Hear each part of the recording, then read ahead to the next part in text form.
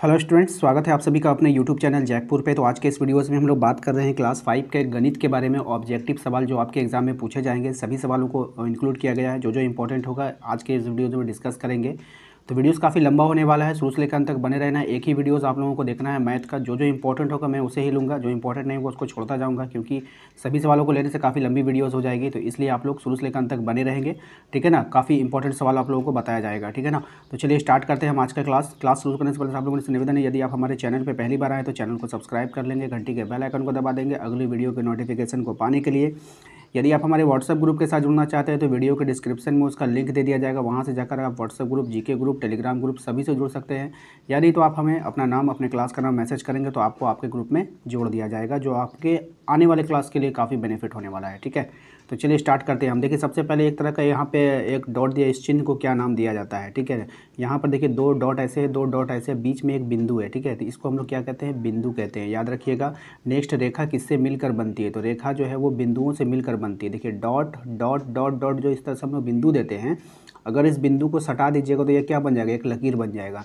बनेगा ना? तो रेखा रेखा किससे बनती है? बिंदुओं से मिलकर बनती है। रेखा खंड किसका भाग है? रेखा खंड किसका भाग है? आपको बताना है तो रेखा खंड रेखा का ही भाग है। हमने एक रेखा खींचा। रेखा खींचने के बाद क्या किया? इसको रेखा खंडित कर दिया। यहाँ से यहाँ से यहाँ से इस सबको खंड में बांट दीजिए, मिटा दीजिए, ठीक है? तो मैंने मिटा दिया। आप देख पा रहे तो ये क्या हो गया? ये जो अब रेखा खंड में विभाजित हो गया। कौन से खंड में विभाजित हो गया रेखा खंड बन गया? तो ये किसका भाग था? एक पहले तो रेखा ही ना खींचे थे, बाद में एक खंड हुआ। तो रेखा खंड भी किसका भाग होता है? रेखा का भाग होता है। किसका भाग होता है? रेखा का ही भाग होता है। रेखा खंड में कितने अंत बिंदु होते हैं? तो रेखा खंड में दो अंत बिंदु होते हैं। देखिए, मान लीजिए ये छोटा सा रेखा खंड है। एक यहाँ पे अंत हो गया, एक इसका यहाँ पे अंत हो गया। खंड हो गया, टुकड़ा हो गया तो उसका अंत बिंदु भी होगा। एक इस छोर, एक इस छोर। ठीक है, याद रखिएगा। पुस्तक के किनारे का आकार कैसा है? पुस्तक के किनारे का आकार कैसा है? रेखा खंड के जैसा है। पुस्तक है, मान लीजिए ये बुक है आपका, ठीक है? ये बुक है। तो ये बुक है, इसके किनारे का जो आकार क्या है? रेखा खंड है। एक छोर यहाँ पे अंत हुआ, एक छोर यहाँ पे अंत हुआ। ठीक है ना? तो रेखा खंड का मतलब ही होता है कि उसका अंत होना चाहिए। तभी वो रेखा खंड होगा, नहीं तो नहीं होगा। एक टॉर्च की रोशनी ज्यामितिक भाषा में क्या कहेंगे? टॉर्च की रोशनी को हम लोग क्या बोलते हैं? किरण बोलते हैं। क्या बोलते हैं? किरण बोलते हैं एक बिंदु से प्रारंभ होकर अंत तक जाने वाली रेखा क्या कहलाती है? तो रेखा खंड कहलाती है ठीक है? एक बिंदु से प्रारंभ होकर अनंत तक जाने वाली रेखा क्या कहलाएगी? तो रेखा खंड कहलाएगी ठीक है? आ, रेखा में कितने अंत बिंदु होते हैं? रेखा में कितने अंत बिंदु होते हैं तो कोई भी अंत बिंदु नहीं होते हैं ठीक है? रेखा का कोई भी अंत बिंदु नहीं होता है ठीक है? नेक्स्ट एक वर्ग में रेखाखंडों की संख्या कितनी होती है? एक वर्ग में। तो वर्ग वर्ग आप देख पा रहे वर्ग इस तरह से होता है और इसमें कितने रेखाखंड है? एक, दो, तीन, चार। चार रेखाखंड हो गया। एक त्रिभुज में रेखाखंडों की संख्या कितनी होती है? तो एक त्रिभुज है, ठीक है? ये इस तरह से त्रिभुज है, इसमें रेखाखंड कितने एक, दो, तीन। तीन रेखाखंड हो जाएँगे, ठीक है? तो तीन होंगे तो इसमें जो ऑप्शन होगा, आपको ऑप्शन नंबर सी उसको कर लीजिएगा। एक स्टार चित्र के रेखाखंडों की संख्या कितनी होती है? तो स्टार चित्र में रेखाखंडों की संख्या कितनी होगी? दस होगी। जो स्टार बना होता है ना, इसी स्टार में आपको रेखाखंड की संख्या पूछ रहा है। एक कोण जिसकी माप समकोण के कम हो, क्या कहलाएगा? एक कोण है। जिसकी माप समकोण समकोण किसको बोलते हैं बच्चों? नब्बे डिग्री को समकोण बोलते हैं। जब भी कोई कोण नब्बे डिग्री से छोटा हो जाएगा तो उसको हम लोग न्यून कोण बोलते हैं। क्या बोलते हैं? न्यून कोण बोलते हैं। और नब्बे डिग्री वाले कोण को क्या बोलते हैं? समकोण बोलते हैं। नब्बे डिग्री से जो अधिक होगा उसको हम लोग अधिक कोण बोलेंगे। वह कोण जिसकी माप समकोण से अधिक है। समकोण से अधिक का मतलब नब्बे डिग्री से अधिक है तो वो क्या हो जाएगा? अधिक है तो अधिक कोण। याद रखिएगा। ठीक है, जब दो रेखाएँ एक दूसरे से लंबवत काटती है तो कौन सा कोण बनता है? जब दो रेखाएँ एक दूसरे को लंबवत काटेगी तो कौन सा कोण बनेगा? सम कोण बनेगा। ये देखिए, ये है रेखा और ये रेखा। दोनों एक दूसरे को काटी तो यहाँ पर कौन सा कोण बना? समकोण बना। समकोण का पहचान ही होता है, दोनों एक दूसरे पर खड़ा रहेगा। तो बिल्कुल सीधा। घड़ी में जब बड़ी सुई बारह और छोटी सुई तीन पर हो, ये बारह है, ये तीन है। तो इस तरह से जब रहेगा तो कौन सा एंगल बन रहा है? देखिए, एक दूसरे पे खड़ा है। तो ये नब्बे डिग्री का कोण बना, नब्बे डिग्री को क्या बोलते हैं हम लोग? समकोण बोलते हैं, ठीक है? यह चित्र किस कोण को दर्शाया गया है? देखिए, अब यहाँ पे समझने वाली बात है, ये आपका फ़ोटो है इस फ़ोटो को ध्यान से देखिए। इस फ़ोटो को देखिए, ये आपका समकोण है, ठीक है? लेकिन अगर ये, अगर हमने ऐसे कर दिया तो ये फैल गया तो ये बड़ा हो गया, है ना? नब्बे डिग्री से बड़ा हो गया तो ये अधिक कोण बन जाएगा। लेकिन अगर इसको हमने दाब दिया तो ये सुटुक गया तो ये हमारा छोटा कोण हो गया तो छोटा कोण को क्या बोलते हैं हम लोग? न्यून कोण बोलते हैं। समकोण से कम हो गया तो इसीलिए ये इसका न्यून कोण आंसर हुआ। समझ के जाइएगा तो कभी गलती नहीं होगा। इस चित्र में कौन कौन को दर्शा रहा है? आपको बताना है। अब देखिए तो ये इस तरह से, आप देखिए, कभी भी ये समकोण कब होता है? जब एक दूसरे पे खड़ा होता है इस तरह से। तो खड़ा तो नहीं, ये छोटा हो गया कि बड़ा हो गया है। तो सुटुक गया तो सुटुक गया, यानी छोटा हो गया तो ये आपका हो जाएगा आपका न्यून कोण। ठीक है, फैल जाता तो ये होता अधिक कोण। और सीधा खड़ा रहता तो ये होता समकोण। ठीक है? आप जैसे इस चित्र में ध्यान से देखिए, इस चित्र में बोला, ये कौन सा कोण है? तो ये समकोण है। बिल्कुल पता चल रहा है कि एक दूसरे पर खड़ा है। ठीक है?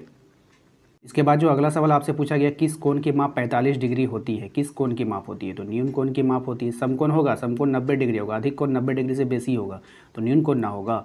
नेक्स्ट है सात सौ सतासी के आगे की संख्या, इस तरह का सवाल आपसे पूछेगा। आगे की संख्या मतलब एक एक जोड़ देना है। सात सौ सतासी है तो सात सौ अठासी हो जाएगा, ठीक है? पाँच हज़ार तीन सौ बासठ के आगे की संख्या तो बासठ है, आखिरी वाला को देखिए। बासठ है तो बासठ के बाद क्या आ जाएगा? तिरसठ आ जाएगा, ये वाला आंसर हो जाएगा। पाँच, छः, सात का प्रसारित रूप बताइए। प्रसारित का मतलब होता है फैला दीजिए।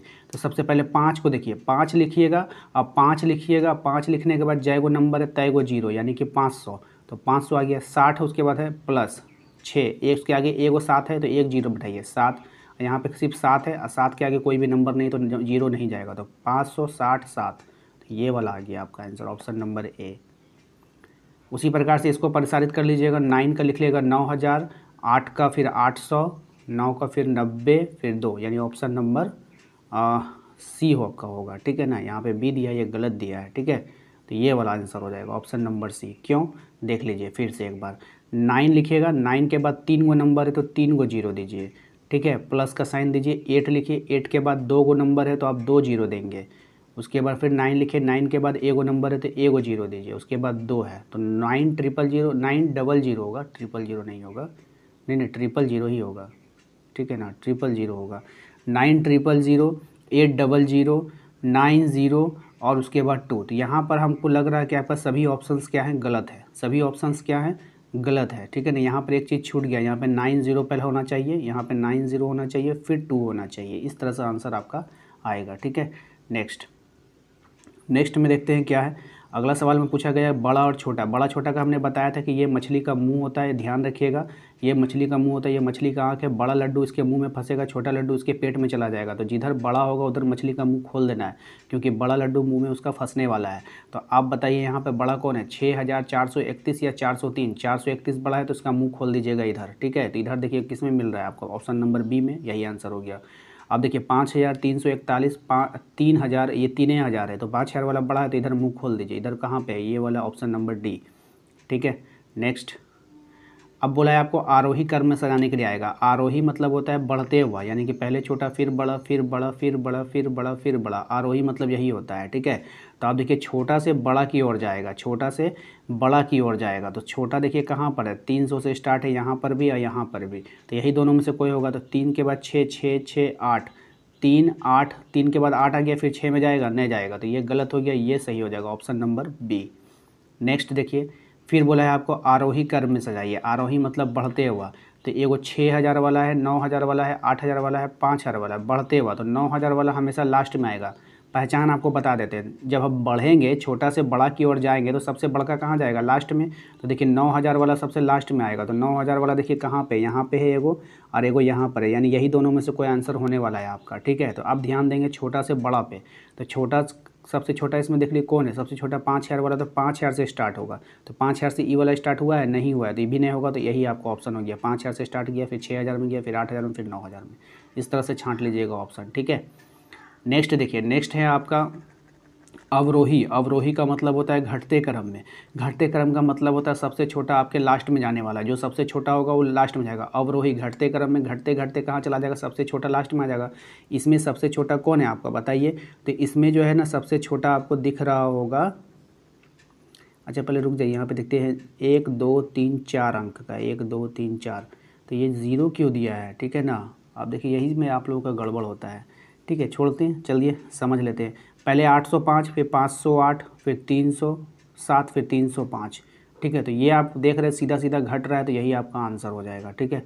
नेक्स्ट है, अवरोही में बोला था आपको तो इसमें आप समझ सकते हैं, देखते हैं।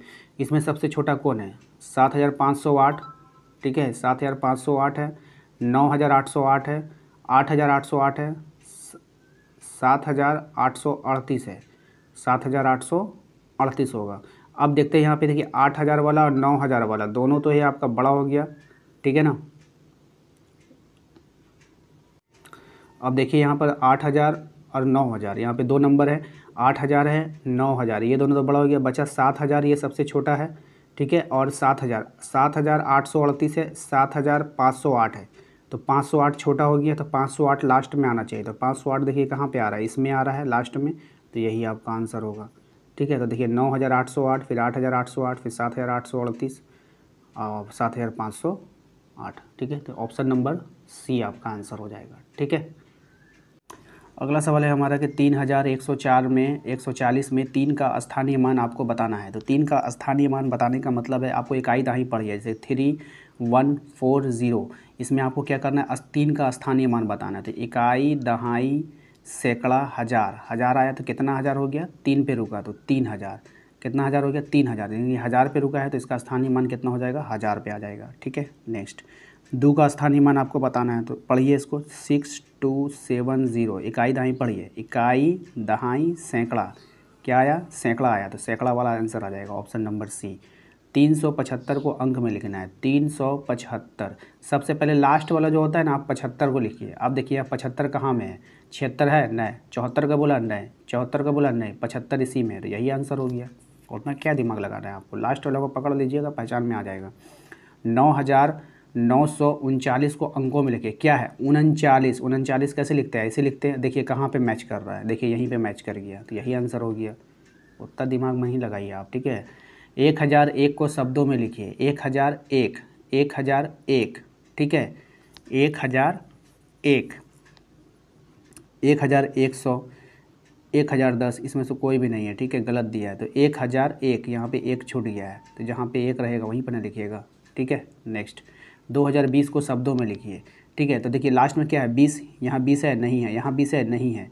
यहाँ बीस है, नहीं है। यहाँ पे बीस है। तो दो हज़ार बीस यही ना होगा ऑप्शन नंबर डी तो आप लोग आंसर को ध्यान देखिएगा, ठीक है ना? नेक्स्ट फाइव एट टू में इनमें से सबसे छोटी संख्या कौन सी है? फाइव एट टू से सबसे छोटी संख्या बनाना है। देखिए कोई भी नंबर दे देगा, बोलेगा, इसका, नहीं, इसमें सबसे छोटी संख्या क्या है? सबसे छोटा कौन है? दो है। Option number C next one zero two zero में इनमें सबसे बड़ी संख्या कौन है? तो वन ज़ीरो टू ज़ीरो में इनमें सबसे बड़ी संख्या कौन हो जाएगा? आपका दो सबसे बड़ा हो जाएगा। नेक्स्ट अगला सवाल है three eight three eight nine seven और फोर थ्री टू वन को जोड़ क्या होगा? सिंपल है, जोड़ लीजिएगा आप लोग, इतना तो आप लोगों को आता होगा। इसका भी जोड़ बताना है, इसका घटाना बताना है, इसका जो है आपको घटाव बताना है, इसको आप लोगों को गुना करना है, ठीक है ना? तो गुना वाले ऊपर वाला सब गुना था गुना करके बता दीजिएगा, उसके बाद है बयालीस को दो से भाग देना है। देखिए, कोई भी चीज़ को हम लोग दो से भाग देंगे ना तो वो बिल्कुल आधा हो जाएगा आपका फिफ्टी फिफ्टी ठीक है? तो बयालीस को दो से भाग दीजिएगा तो उसका आधा कितना होता है? इक्कीस, यही आंसर हो जाएगा। छः हज़ार को पंद्रह सौ से पंद्रह से भाग देना है, भाग दे दीजिएगा आप लोग, ठीक है? अब जोड़ घटाओ भाग सिखाएँगे तो काफ़ी लेट हो जाएगा, उसके लिए आप लोग तो बेसिक क्लास देखिए, ठीक है? चलिए, इसके बाद जो भी आप सवाल देख रहे हैं गुना के फॉर्म में रहेगा तो आप लोग क्या करिएगा? जैसे बड़ा वाला नंबर है तो इसको आप लोग ऊपर लिख लीजिएगा, ठीक है? इसके छोटा वाले नंबर को आप लोग नीचे लिख लीजिएगा, इस तरह से गुना करके जो आंसर आएगा, आप लोग आंसर पे क्लिक कर दीजिएगा, यानी कि क्लिक नहीं मतलब उसको कलर कर दीजिएगा, ठीक है? तो उस तरह से आप लोग को, ठीक है? अब देखते हैं, हम भाग थोड़ा सा आप लोगों को बता देते भाग जैसे इस तरह का भाग आएगा तो आप किस तरह से भाग दीजिएगा? ये सब भाग जो होता है, बिल्कुल ईजी होता है, जैसे दो सौ पचास भागा पचास है तो आप दो सौ पचास लिख दीजिएगा, और नीचे पचास लिख दीजिएगा, ये ज़ीरो से ज़ीरो कट जाएगा, पाँच से कट जाएगा, पाँच बार में, इसका आंसर कितना आ गया? पाँच, ठीक है? एक हज़ार भागा एक सौ। तो एक हज़ार भागा एक सौ तो ऊपर एक हज़ार लिख दीजिएगा। एक हज़ार नीचे एक सौ लिख दीजिएगा। दो ज़ीरो से दो ज़ीरो कट गया, ऊपर कितना बच गया? दस। तो आंसर इसका दस हो जाएगा। उसके बाद आप लोगों को इस तरह से सवाल भी देखने को मिल सकता है कि दो गुना आठ यहाँ पे बॉक्स में क्या भराएगा? तो दो अठी सोलह भराएगा तो सोलह लिख दीजिएगा। उसके बाद बोला यहाँ पे देखिए, यहाँ पे दस करना है, ठीक है? तो दस करना है तो यहाँ पे दस नहीं होना चाहिए, ठीक है ना? यहाँ पे दस नहीं होना चाहिए, यहाँ पे अस्सी होगा। तो आपसे पूछेगा कि यहाँ पर, नहीं, यहाँ पर क्या भराएगा कि आठ से यहाँ तब इसका डिवाइड का चिन्ह होगा यहाँ पे। भाग का चिन्ह होगा, तब यहाँ पे आप अस्सी भरेंगे तो आठ को जब भाग देंगे तो यहाँ आंसर दस आ जाएगा, ठीक है? नेक्स्ट है चलिए अब इम्पोर्टेंट सवाल को चलिए इस तरह के सवाल भी आप लोगों के एग्ज़ाम में देखने को मिलेगा। बीस कलम का एक बटा दो भाग आपसे पूछा है तो बीस कलम लिख दीजिएगा, एक का का जगह में गुना का चिन्ह दीजिएगा, एक बटा दो, नीचे से ऊपर वाले को काट दीजिएगा, दो से कट जाएगा दस बार में। और दस गुना एक मतलब क्या होगा दस एकम दस तो यहाँ पर आंसर क्या हो जाएगा आपका? दस। इस तरह से आप लोग कटा करके लिख लीजिएगा, ठीक है? जैसे यहाँ पर आप ध्यान से देखिए, यहाँ पे बोला सोलह आम का तीन बटा चार तो हम लोग लिखेंगे सोलह गुना तीन बटा चार। चार का पहाड़ा से इस सोलह को काट दीजिए। चार बार में चार गुना तीन, चार गुना तीन कितना हो जाएगा? बारह हो जाएगा। तो आंसर इसका कितना आ जाएगा? बारह आ जाएगा। इस तरह से आप लोग सभी बना लीजिएगा, ठीक है? अगर इस तरह से अगर बड़ा छोटा का निशान लगाने के लिए आ जाएगा तो आप लोगों को कुछ नहीं करना है, क्रॉस में गुना करना है। जैसे एक बटा सात है, इधर एक बटा दो है। इसको आप क्या कीजिए क्रॉस में गुना कीजिए। दो को इस ऊपर ले जाइए तो दो एक कम दो इसको ले जाइए, सात एक कम सात। तो किधर बड़ा आया? इस तरफ़ बड़ा आया, यानी एक बटा दो की तरफ़ बड़ा आया तो इधर सात बड़ा आ गया तो एक बटा दो तरफ़ बड़ा आ गया तो इधर ये बड़ा हो जाएगा, इधर मुँह खोल दीजिएगा, ठीक है?